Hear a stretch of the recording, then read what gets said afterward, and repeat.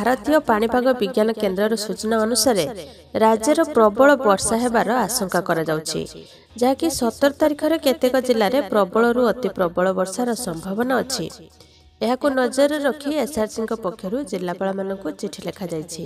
ଏବେ yellow warning ଜାରି ହୋଇଥିବା ଜିଲ୍ଲାଗୁଡ଼ିକରେ ବନ୍ୟା ପରିସ୍ଥିତି ସୃଷ୍ଟି ହୋଇପାରେ। ସେହିପରି ସହରାଞ୍ଚଳରେ ତଳିଆ ଅଞ୍ଚଳରେ ପାଣି ଭର୍ତ୍ତି ହୋଇ ବିପରୀତ ପରିସ୍ଥିତି ସୃଷ୍ଟି କରିପାରେ। ତେଣୁ ଚବିଶ ଘଣ୍ଟିଆ କଣ୍ଟ୍ରୋଲ ରୁମ୍ ଖୋଲିବାକୁ ନିର୍ଦ୍ଦେଶ ହୋଇଛି।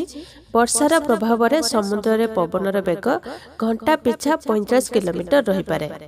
ତେଣୁ ସତର ତାରିଖ ଠାରୁ ମାଛ ଧରିବାକୁ ସମୁଦ୍ର ଭିତରକୁ ଯିବାକୁ ମନା ହୋଇଛି। ଆସନ୍ତା ଚବିଶ ଘଣ୍ଟା ମଧ୍ୟରେ ରାଜ୍ୟର ପାଞ୍ଚରୁ ଉର୍ଦ୍ଧ୍ୱ ଜିଲ୍ଲାରେ ପ୍ରବଳ ବର୍ଷାର ସମ୍ଭାବନା ଅଛି।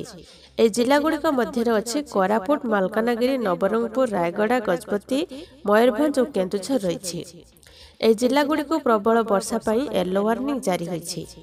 ଏଥିସହିତ ନବରଙ୍ଗପୁର କଳାହାଣ୍ଡି ମାଲକାନଗିରି ରାୟଗଡ଼ା କନ୍ଧମାଳ ବଲାଙ୍ଗୀର ନୂଆପଡ଼ା ମୟୂରଭଞ୍ଜ କେନ୍ଦୁଝର ଅନୁଗୁଳ ଢେଙ୍କାନାଳ ସୁନ୍ଦରଗଡ଼ ଦେବଗଡ଼ ବାଲେଶ୍ୱର ଭଦ୍ରକ ଓ ଯାଜପୁର ଆଦି ଜିଲ୍ଲାରେ କାଳବୈଶାଖୀର ସମ୍ଭାବନା ଅଛି।